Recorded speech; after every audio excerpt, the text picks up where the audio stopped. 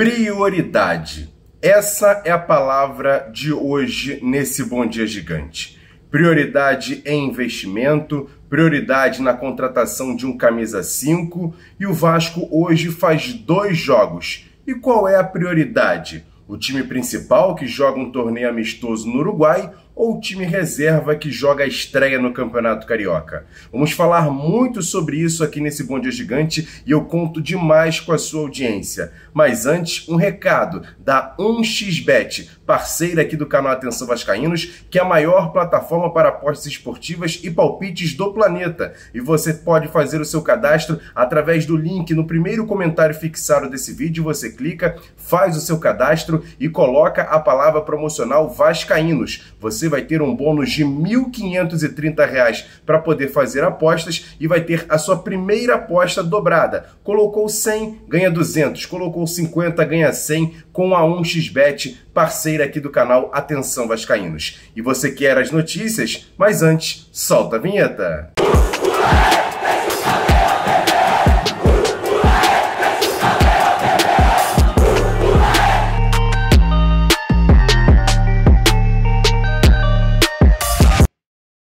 dia, muito bom dia para você ligado nesse Bom Dia Gigante. Nessa quinta-feira chegou a hora. Depois de um longo tempo sem jogos do Vasco, a gente vai ter logo dois no mesmo dia. Vamos falar muito sobre isso aqui nesse Bom Dia Gigante, mas eu quero começar pedindo para você me dar essa moral. Tem um botãozinho aqui embaixo, você se inscreve no canal, é importante. Você que tem um cadastro no Google, pega a sua conta, se loga no YouTube e deixa aqui a sua inscrição no canal Atenção Vascaínos. Acione também o sininho sininho notificações, deixe o like nesse vídeo e sempre compartilhe. Copie o link e joga lá nos grupos de WhatsApp, de Telegram, de Facebook, espalha para todo mundo que o Bom Dia Gigante já está no ar e com muitas informações. E vamos começar falando sobre o primeiro jogo do dia. O Vasco vai enfrentar o Boa Vista de Saquarema às sete e meia da noite em São Januário, que promete estar com grande público. Até ontem à noite, 15 mil ingressos já foram vendidos e a torcida do Vasco vai estar presente em São Januário para acompanhar essa estreia do Vasco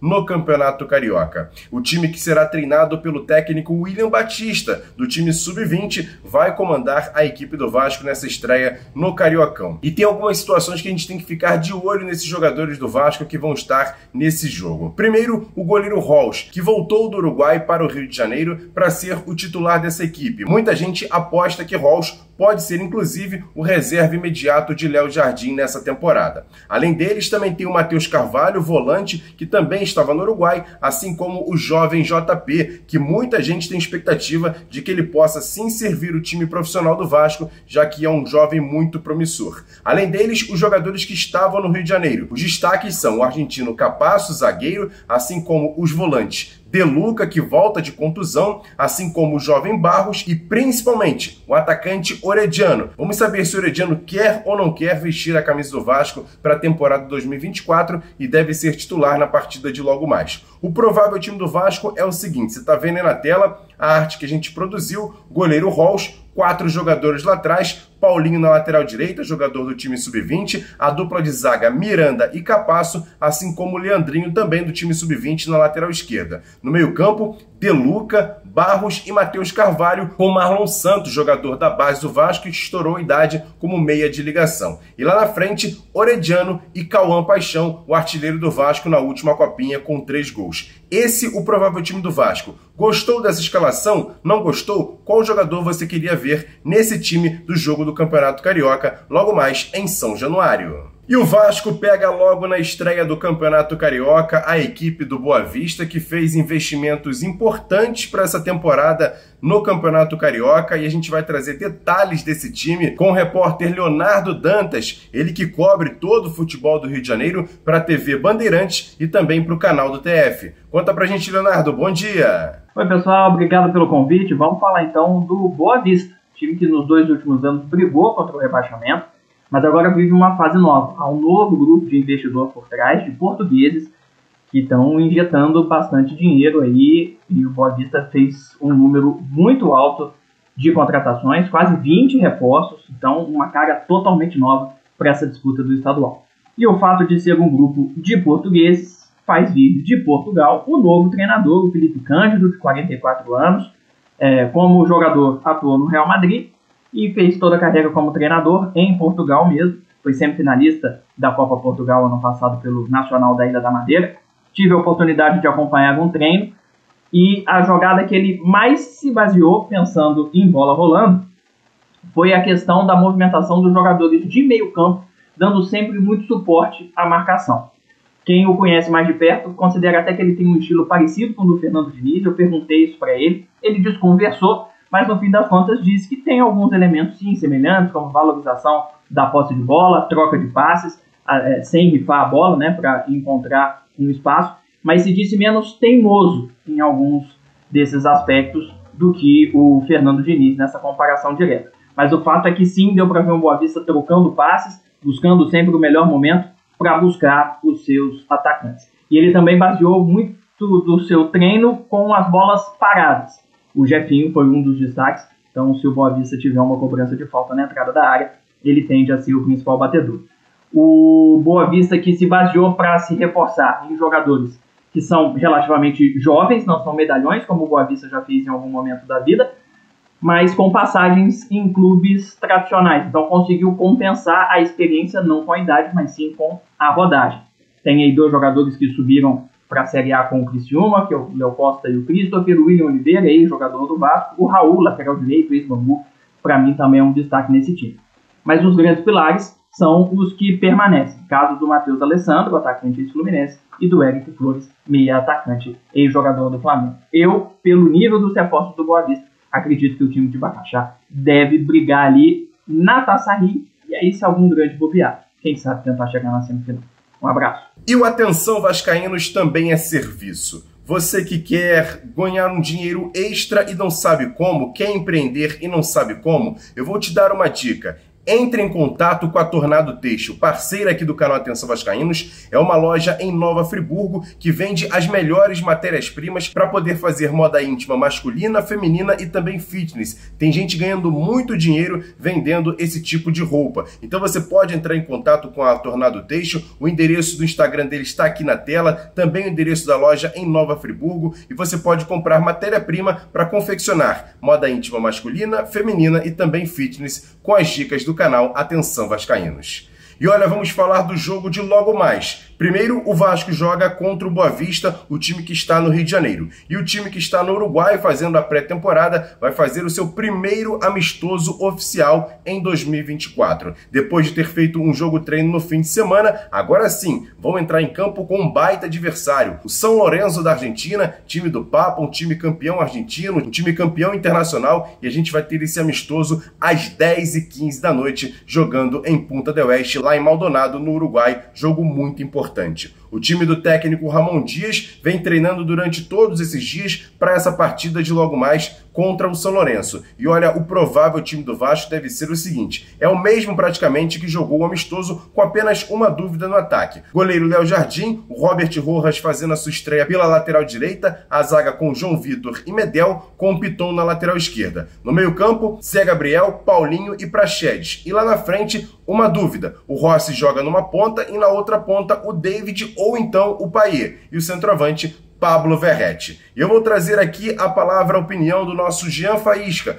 Qual time você escalaria, Jean, para essa partida de logo mais contra o São Lourenço da Argentina? Salve Emerson Rocha e galera ligada nesse Bom Dia Gigante. E aí, torcedor? Estava com saudades do Vasco? E olha que essa saudade hoje dá pra gente matar em dose dupla. Temos aí a estreia do Vasco no Campeonato Carioca, com uma mescla de alguns jogadores que o Vasco parece não ter tanto interesse para essa temporada, junto com alguns jogadores sub-20. E as feras do Vasco, lá no Uruguai, com a cobertura do Flávio Dias, aliás, hoje aqui no Atenção Vascaínos, cobertura dos dois jogos. Primeiro, Emerson Rocha e Sérgio Quinde, no estadual, e depois eu e Flávio Dias comentando aí sobre esse jogo lá no Uruguai. E estou muito curioso para entender qual será a escalação do técnico Ramon Dias, principalmente pela estreia das novas contratações. Robert Rojas na lateral direita, João Vitor na zaga e o David merece essa oportunidade lá na frente. Enfim, eu acho que dá para o técnico Ramon Dias é, mostrar já para a torcida do Vasco que ele tem é, a necessidade de mudar aquela equipe do Vasco que terminou ano passado. Uma equipe que correspondeu no retorno, mas a partir da hora que vocês têm mais opções, tenho certeza que o torcedor do Vasco vai gostar de ver esses jogadores dentro de campo. E principalmente a titularidade e mais minutagem para o Paier.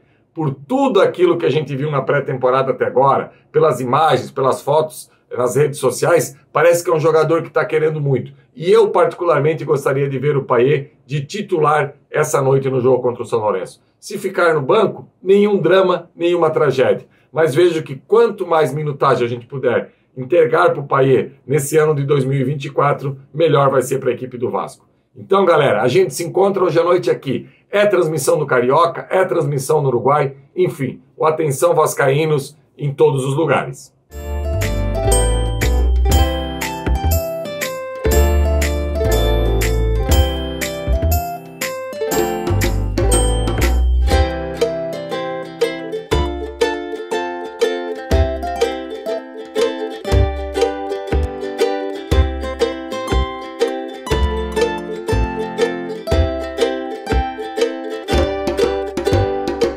Sei que estamos começando o ano, eu sei que você gosta de dar presente para as pessoas que você gosta. Eu vou te dar uma dica para você encontrar o presente mais certeiro. É a Pompador na Barra da Tijuca, lá no Barra Square. O endereço está por aqui. Também tem o arroba deles no Instagram. Entre em contato com a Pompador, que é parceira aqui do canal Atenção Vascaínos. Eles vendem perfume importado, joias, relógios. Muito legal, é o presente certeiro com a Pompador, parceira aqui do canal Atenção Vascaínos. E agora chega ele, direto de Ponta del Oeste, para contar todos os detalhes para essa partida de logo mais contra o São Lourenço, Vasco e São Lourenço, pelo torneio amistoso lá no Uruguai. Conta pra gente, Flávio Dias. Bom dia, mas fala um pouquinho alto, Flávio Dias. Bom dia! Bom dia, grande Emerson Rocha. Um abraço para você, para todos ligados aqui no Bom Dia Gigante. Bom, o Vasco joga logo mais contra o São Lourenço de Almagro na estreia do ano de 2024. Expectativa muito grande pela forma como o time vai jogar. Expectativa como vão estrear os jogadores que nunca vestiram a camisa do Vasco em jogos oficiais. A situação de David foi resolvida, informação que me foi passada ontem à noite pelo Alexandre Matos, o diretor executivo do Vasco. David está ok, regularizado e vai para a partida. Assim como Robert Rojas e João Vitor, os três jogadores contratados, serão titulares do técnico Ramon Dias. Mas eu posso falar que os três se encaixaram bem, principalmente o Rojas e o João Vitor. Rojas muito forte, muito competitivo, e o João Vitor um zagueiro de muita qualidade, jogador que tem presença, que sabe sair jogando, um jogador veloz. O David um pouco mais tímido, mas no treino de ontem foi muito chamado às, às reações dele por Emiliano Dias e também por Ramon Dias, orientando com calma, com paciência e, acima de tudo, querendo que o jogador compreenda aquilo que vai fazer. Mas a grande expectativa, Emerson, é por conta do que vai rolar com a situação que envolveu Esforza. A gente disse isso aqui na última terça-feira no News, você esteve comigo participando de que a situação era difícil. Esforza era um jogador que o Vasco havia acertado tudo, mas em função de uma necessidade maior de, de contratar um jogador de ataque, ficaria difícil. E a princípio, o Vasco está desistindo realmente do Juan Esforça. Só que essa desistência traz consequências, porque eu posso adiantar que a situação do Alexandre Matos foi uma situação difícil, porque ele deu o nome dele, ele emprestou o nome dele à negociação, fechou absolutamente tudo, e a 777 meio que não deu a importância devida a isso. Não acreditando que o jogador fosse fechar com o Vasco, deixou tudo nas mãos do executivo e de repente muda o discurso. Olha, só tem orçamento para um jogador.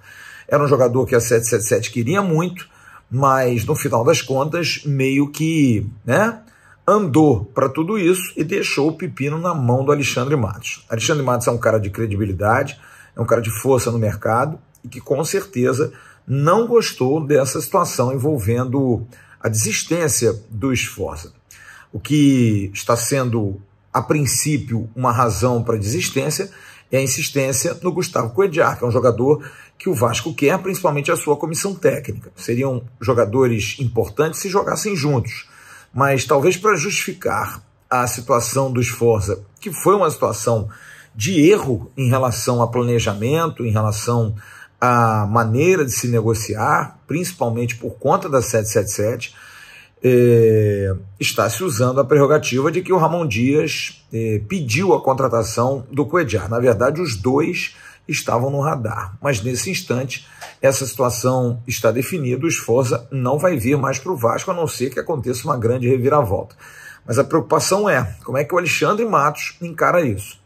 A gente tem informação de bastidores de que ele ficou bastante incomodado, bastante preocupado, afinal empanhou a palavra com o pessoal do News Old Boys, a família do jogador, e de repente vai ter que dar para trás em função de uma negativa da empresa que comanda 70% do futebol vascaíno.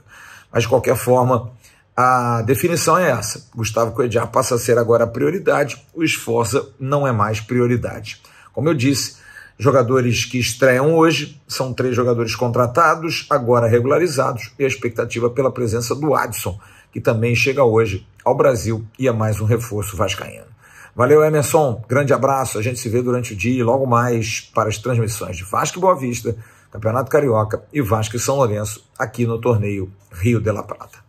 Grande abraço. Valeu, Flávio. Obrigado pelas suas informações nesse Bom Dia Gigante. E aí, torcedor? Essa situação do primeiro volante do Vasco, como eu disse, a prioridade. O Vasco que estava com tudo acertado com o Juan Esforza, jogador do News on Boys, e parece que melou essa situação e o Vasco agora tem a prioridade de contratar Gustavo Coedjar, jogador de 31 anos que está no mundo árabe, passou aqui no Brasil no nosso rival, é um jogador de Copa do Mundo, de Copa América, de eliminatórias. Gustavo Coedjar é a prioridade para vestir a camisa 5, vamos dizer assim, para jogar pelo Vasco como primeiro volante. E gostou dessa situação? Não gostou? Queria os dois jogadores ou queria aposta mesmo no Juan Esforza? Eu quero saber a sua opinião. Comenta aqui embaixo que é importante a sua participação aqui no Bom Dia Gigante. E mais uma vez pedindo para você que ainda não é inscrito no canal, me dá essa moral. Tem um botãozinho aqui embaixo, se inscreva no canal e acione o sininho das notificações. Assim sempre que a gente subir um vídeo ou fazer uma live, você vai receber uma notificação. Deixe o like nesse vídeo vídeo e sempre compartilhe porque ajuda bastante, jogando o link lá nos grupos de WhatsApp, Telegram, Facebook, espalhando para todo mundo, dizendo para a galera: o Bom Dia Gigante já está no ar e com muitas informações.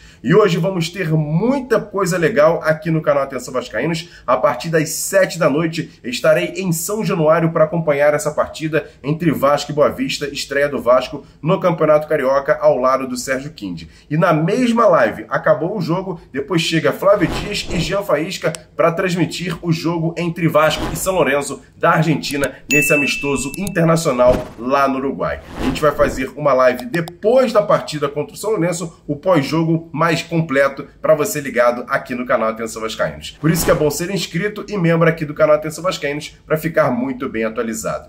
Grande abraço para todos vocês. A gente se vê 7 horas da noite. Siga a gente nas redes sociais, arroba Avascaínos, e também no nosso segundo canal, o Ave Mais. Tamo junto, grande abraço, valeu, fui!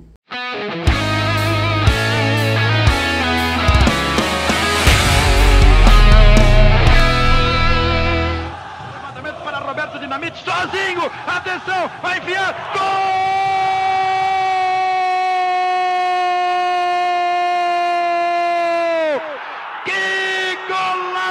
Maravilhoso do moço que mora em Caxias!